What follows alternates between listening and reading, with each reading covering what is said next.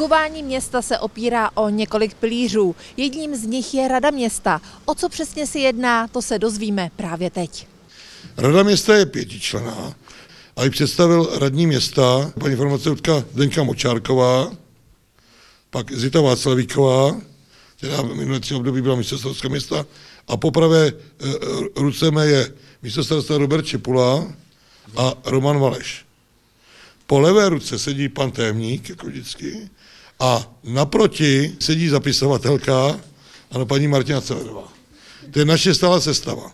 A pak se tady u nás střídají jednotliví vedoucí odborů nebo předkladatele jednotlivých bodů. Teď je tu právě paní Miroslav, Miloslava Houdová. Rada města je vlastně pracovní orgán, eh, pracovní orgán pro zastupitelstvo, na kterém se vyřizují neodbitné záležitosti, různé podpisy smluv, schvalují se další věci provozní.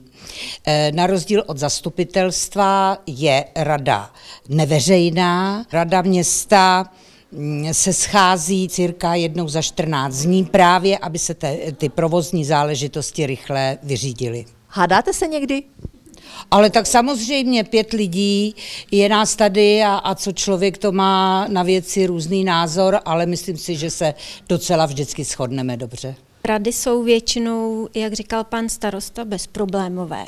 Diskutuje se, ale nikdy se nestalo, že by se pohádali nebo, nebo si nerozuměli. Takže za mě dobrý. Říkala jste, pět členů má Rada města. Eh, Pět členů, ano. Zastupitelstvo 19 a z těch 19 členů se volí e, za, ta rada.